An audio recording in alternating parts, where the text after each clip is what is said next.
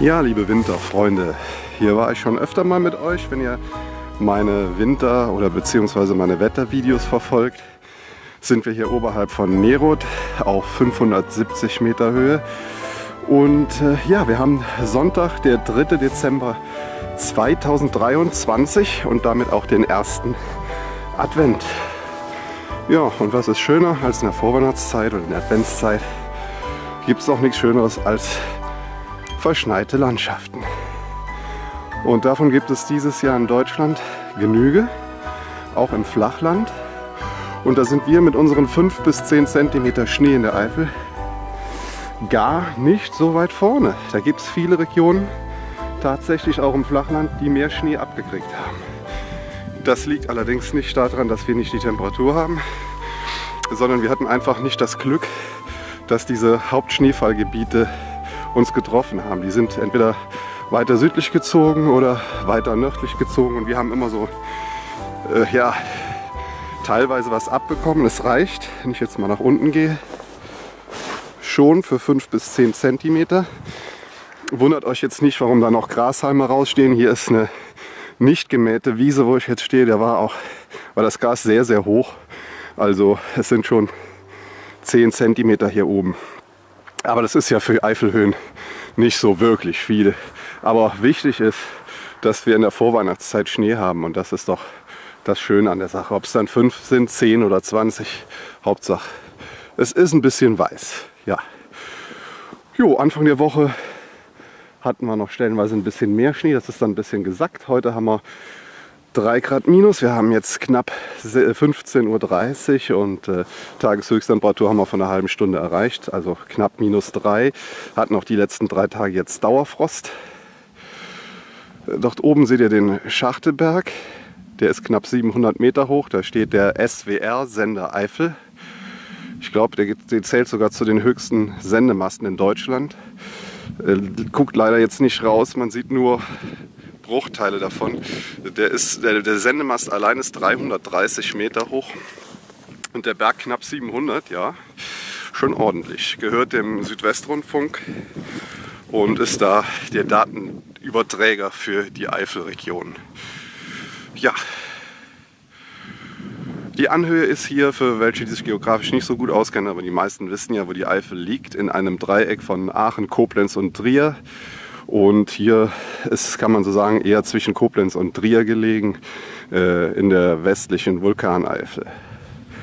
Und wie gesagt, gut 500, 560, guck gleich unten ist ein Schild, äh, sind wir hier hoch. Es geht natürlich noch deutlich höher und das werden wir auch gleich tun. Ich fahre jetzt mit euch äh, unterhalb der Kuppe des Ernstberg. Der Ernstberg ist 700 Meter hoch und die Anhöhe, wo wir uns gleich befinden, liegt in etwa auf ich glaube, lass mich nicht lügen, 630 Metern.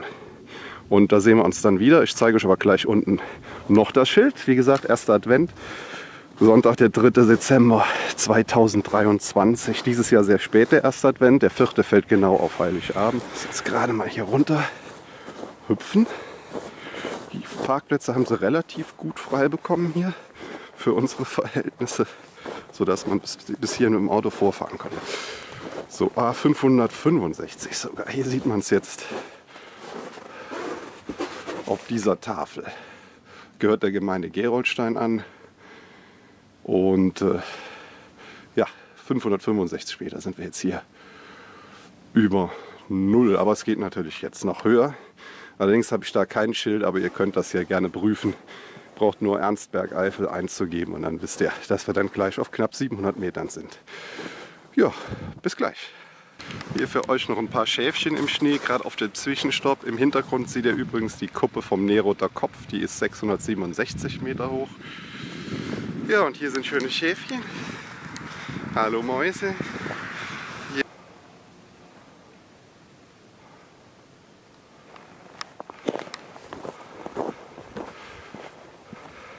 So, immer noch Sonntag, 3. Dezember 2023, erster Advent.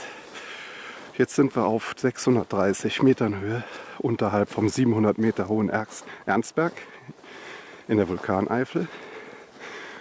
Und ja, was soll ich sagen? Schönstes Winterwunderland, 4 Grad minus. Und äh, ja, Schneehöhen so 10, 15 Zentimeter höchstens. Äh, aber knackig kalt. So wie es sein soll zum ersten Advent.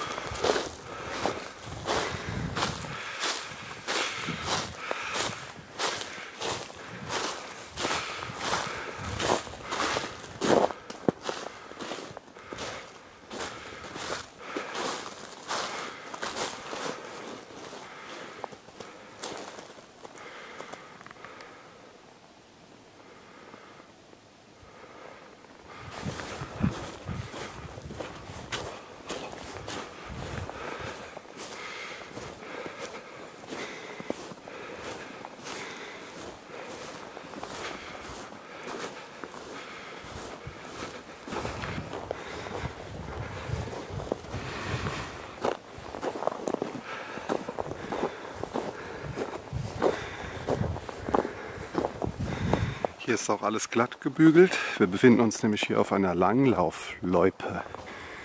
Kann ich euch gleich mal zeigen.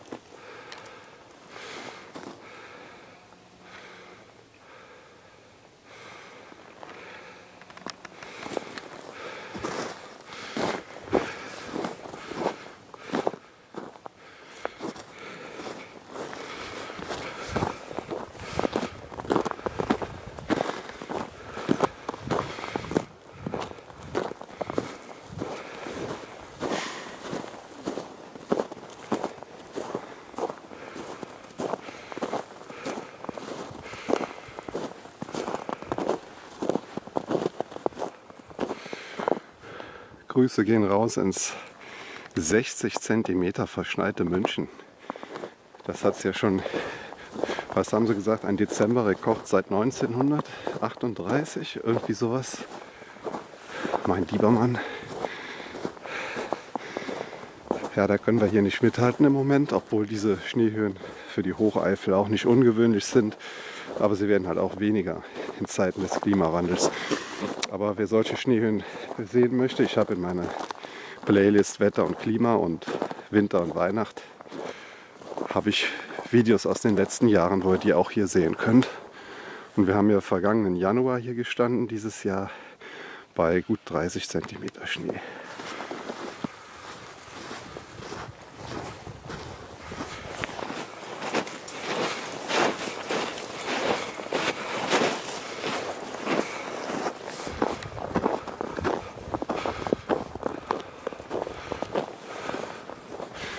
Sehe doch den Frost oben in den Bäumen drin. Nur den Schnee hat es durch heftigen Wind vor zwei, drei Tagen hat's von den Bäumen runtergeweht. Es ist nur noch auf den kleineren Bäumen was drauf.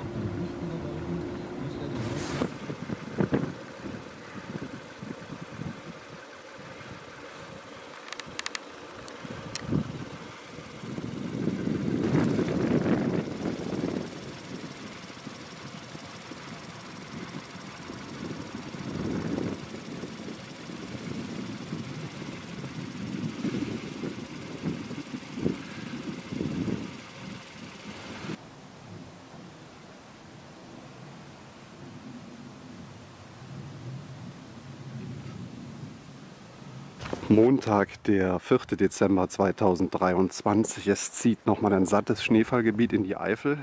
Es wird heute nochmal ordentlich Neuschnee geben.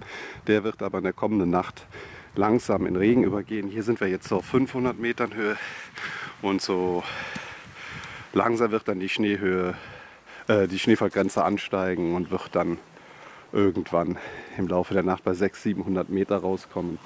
Und äh, ja, äh, ab 800 Meter ist dann hier auch Feierabend. Dann ist hier nicht mehr mit Schnee zu rechnen. Aber vorher soll noch mal ordentlich was draufkommen. Ich bin mal gespannt.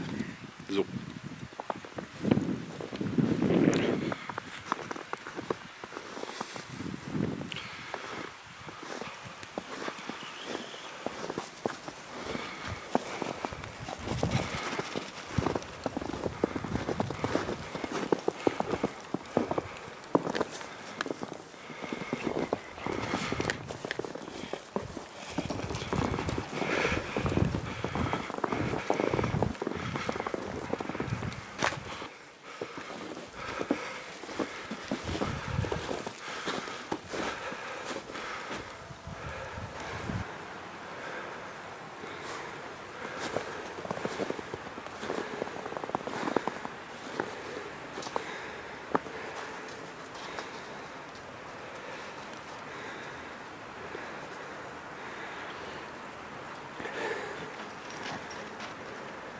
Uiuiui.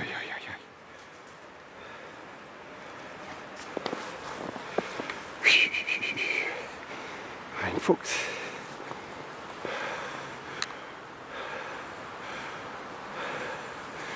Noch keine Eiszapfen in der Höhle. Dafür bin ich eigentlich hier hochgelaufen.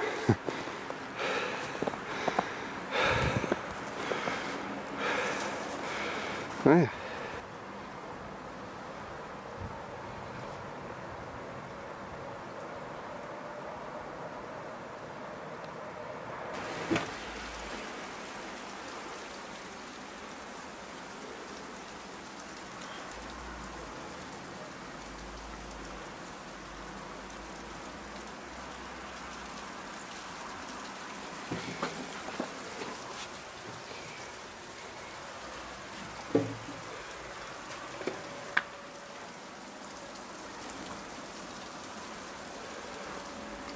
Ja, nochmal 4. Dezember 2023, Geroldstein-Eifel. Jetzt mischt sich so langsam Eisregen in den Schnee rein, so richtig Eisfäden sind das. Und das ist natürlich jetzt bei noch frostigen Temperaturen nicht so gut.